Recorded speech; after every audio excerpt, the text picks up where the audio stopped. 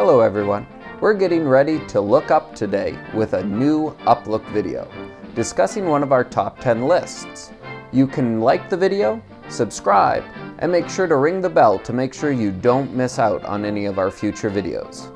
Today's topic, 10 ways to practically love people.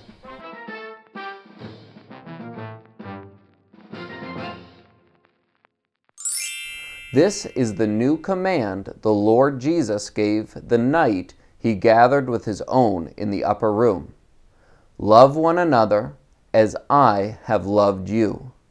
He said, If the greatest thing is love, and if love is of God, this is a sure way we can live godly in this present world. So let's look at some practical ways to live the life of love. Here we go.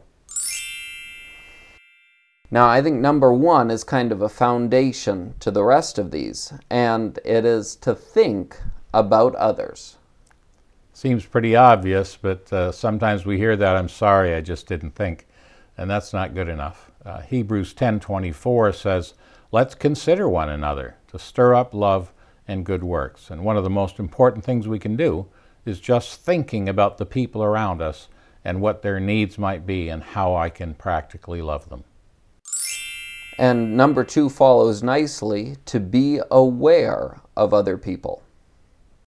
Right. Uh, in Isaiah 61 and verse 1, uh, the Lord takes up this verse The Spirit of the Lord is upon me. He's anointed me to do certain things.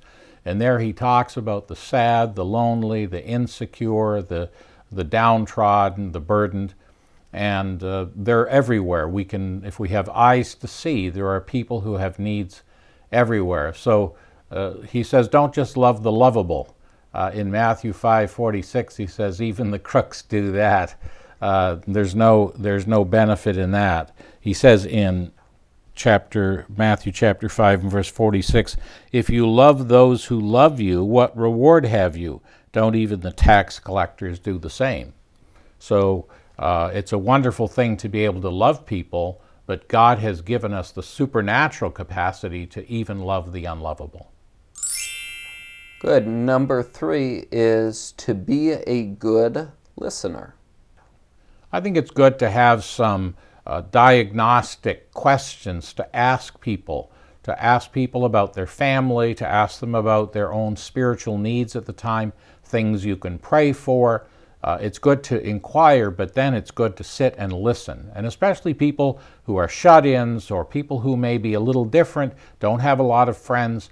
Uh, they have all these pent up words they want to use. And while we may be very busy, it's our time then to let them talk and to listen. It's very important to do that.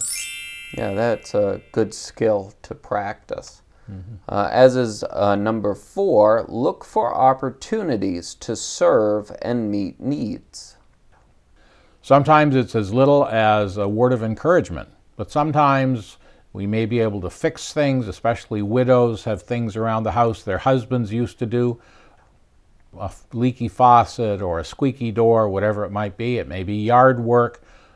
There, there are opportunities to uh, work with young mothers, give them a break now and again. Some of the single gals could see this as a ministry to give a young couple an opportunity for an evening out and say, look, I'm not going to charge you for babysitting. I just want to do this as a ministry.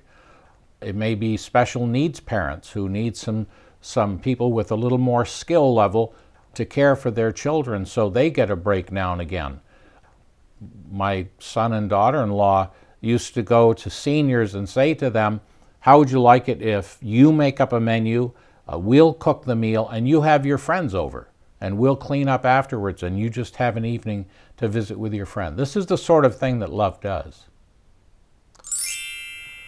Our next one is very important. It's to pray regularly, intelligently, and confidentially for others.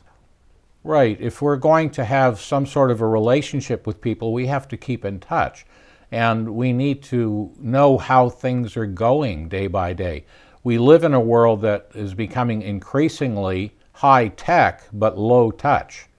And we need to turn that around sometimes and be a little more in touch with people so that we do know what they're going through.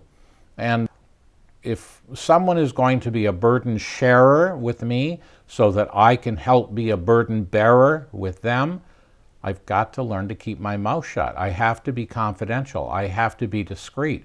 As soon as I start sharing their burdens and it starts getting around, that's the end of the opportunities that they're going to take to share their problems with me. So learn to be confidential if you expect to have a ministry of people caring, uh, expressing their burdens to you so you can care for them. And our next one, uh, I think, goes really well with that being consistent and compassionate in your care. Sometimes people aren't going to express how thankful they are, especially in the early days. Some people have been through trauma and it's hard for them to express their love and gratitude. And so, for a fair bit in the early stages of working with hurting people, you're going to get very little back. It's going to be a bit like uh, hugging a telephone pole because they just don't have anything to give. And if you bail out on them just because they can't respond back to you, you're not really loving them in the way Christ loves us. So let's remember that love endures all things. Love doesn't give up. And love keeps doing things even when people don't say thanks. I remember years ago, I was down in Georgia and uh, T.S. Morgan and I were going visiting. And in the middle of the day, he stopped and said, Oh, I've got to get home. He went back and he had a little insulated container that he would put some cold drink in and some cups for the garbage men and they, they knew that they could stop at his house any day that they were traveling and it would be waiting for them along with a little bit of gospel literature. And it's that faithful consistency in love that makes the difference, not just once in a while sort of drive by charity. Our number seven on the list is keep your promises or else don't make them. right. Long term relationships are based on trust. And once you lose trust, it's hard to get it back again. So um, the scripture says that uh, you should keep your promise even to your own hurt. You make a promise and then it turns out to be very expensive, go through with it. God says that's something I love when you do keep your promise even to your own hurt. I feel like that idea isn't very emphasized today, so I'm glad it made our list. Number eight, observe what brings them joy and follow suit. Yeah, I think uh, sometimes what happens is that we give to people the things that we want, the things that we like. I remember in my early marriage, my wife had a number of children to care for, and, and I made her a nice garden out in the back. Well, that was the last thing she wanted. She had no time for gardens. She was raising kids. That was something I thought she would like. What I needed to do was learn what would be helpful to her and respond to uh, what she needed. And people talk about the different love languages, whatever you make of that. The fact is that everybody's different, and we need to understand people in order to love them as they need to be loved. Our number nine is as friendship grows, graciously speak the truth with their good at heart. Both on the positive and the negative side. Don't wait to say nice things at the funeral. Say it while it will do some good. But at the same time, when I love someone, I care about them, and I shouldn't let them wander into things that are dangerous for them. And so sometimes love risks. And love says, in grace, in kindness, says the things they need to hear that maybe nobody else will tell them. So it's, it's important for us, the scripture says in Proverbs 27 6, faithful are the wounds of a friend. And uh, hopefully we're hurting to heal for the same reason that a surgeon does his work.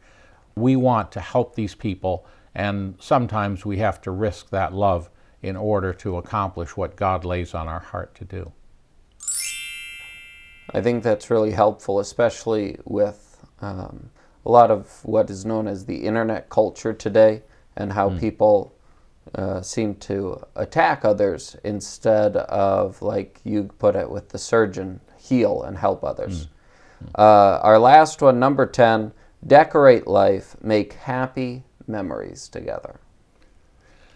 You know, it's a sad world, and there are a lot of tough things. And anytime we can uh, celebrate little victories, enjoy the today, enjoy the now, as they say, uh, today is a gift. That's why they call it the present.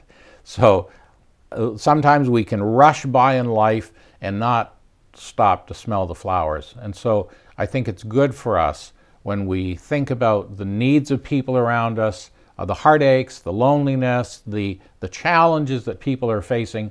Sometimes we look at people and we envy them, but if we really knew their lives, we'd maybe pray for them, maybe want to help them. So the more I get to know people, the more I understand the aching hearts that are around us, and what a wonderful opportunity it is to show some of the love of Christ to people in their need. Charles Spurgeon said, You go in for ministering to broken hearts, you'll never be out of business. And that's certainly the case in this area. Learning to love people is learning to be godlike because God is a lover of people.